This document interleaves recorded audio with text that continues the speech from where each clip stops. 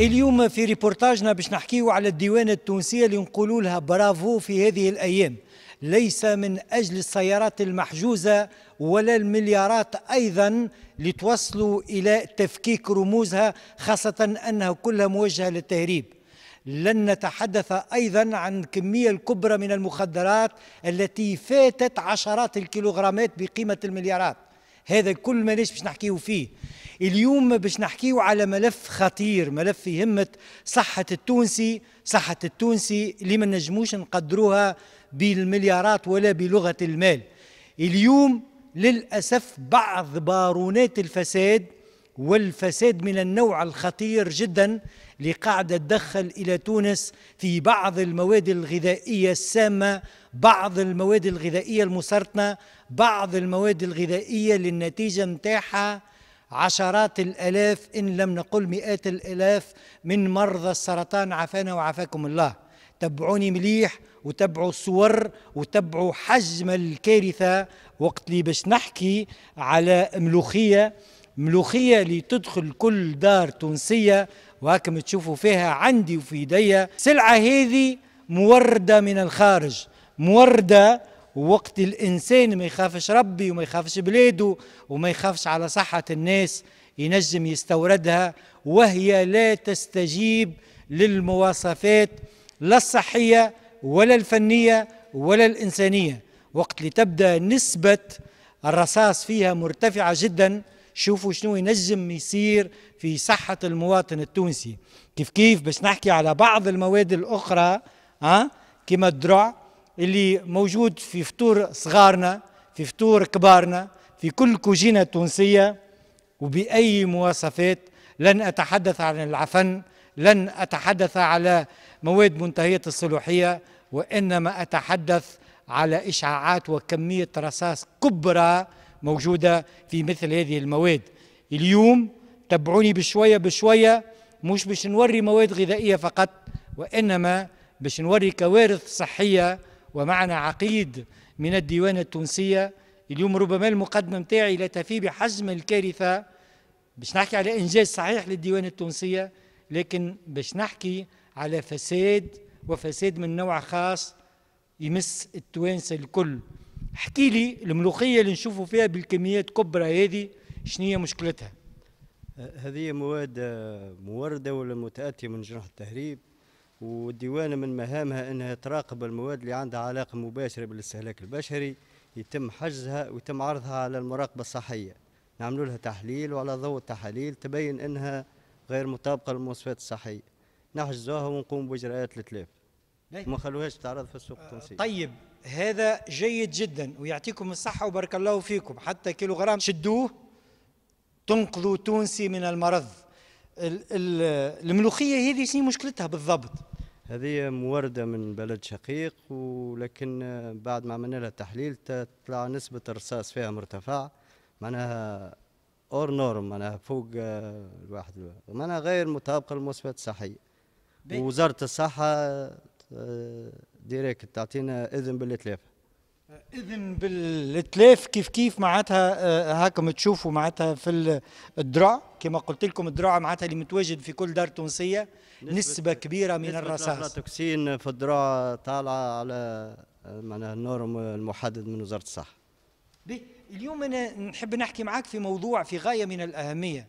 وربما الموانئ البرية والبحرية مراقبة لكن الكارثة الكبرى هي في المواد المهربة التي لا تخضع للرقابة. إن لم تتفطن إليها الديوانة في مسالك التهريب وإلا في الأسواق يظهر لي الضحية والكارثة تصير للمواطن التونسي. هي البضائع في مجملها متأتية من التهريب وغير خاضعة للمراقبة الصحية. وفي 70% منها عندها علاقة مباشرة بالإنسان معناها كما المكياج كما مواد تجميل كما مواد غذائية. ويتم ترويجها وتسويقها في السوق المحلية. ترويجها في السوق المحلية وبالطبيعة المستهلك هو تونسي آه، وتشوفوا معناتها في حجم الكارثة اللي صايرة اليوم في تونس لما تغيب الأخلاق. حتى على المهرب تنجم تصير كارثة في التونسي كارثة بالأمراض خاصة الأمراض السرطانية وما أكثرها في هذه الأيام. اليوم وأنا نحكي في الريبورتاج متاع التهريب ونحكي على المواد المهربة باش نحل قوس إلى التهريب من نوع خاص وهو أن بعض الموردين التونسيين كيف كيف اللي ما همش آه، معناتها عندهم نزعة وطنية قاعدين يدخلوا في بعض المواد عن طريق بلدان عربية أو أوروبية اللي هما عندهم آه، علاقات تجارية بتونس ومعفيين من الأداءات. يجيبها من بلاد أخرى من الصين مثلا.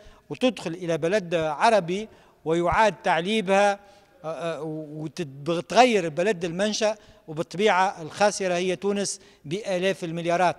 قلت لغة المليارات ربما لا تفيد مع صحة التونسي. لما تكون هنالك مواد غذائية ومواد استهلاكية جمة موجودة في الأسواق التونسية متاعنا لا تستجيب للمواصفات. مانيش باش نحكي على آه، الملوخية اللي وريتها آه، اللي تغيرت في لونها وفي ريحتها وفي كل شيء. مانيش باش نحكي على الدرع مانيش باش نحكي على الحبوب وإنما ثم زاد مواد أخرى وقع حجزها بكميات كبرى ها؟ وفما شك اللي هي مسرتنا خاصة مواد التجميل. الكلام هذا صحيح؟ موجود ياسر وتنعطيك معينة منها هي مواد تجميل. آه، منتشرة بالأسواق آه، الشعبية وتستعمل فيها العباد الكل بأسعار بخسة ولكن هي مضرة بالصحة آه، في مجملها كي نعدوها على المراقبة الصحية مرفوضة تماما باش يكون معروضة للاستهلاك البشري.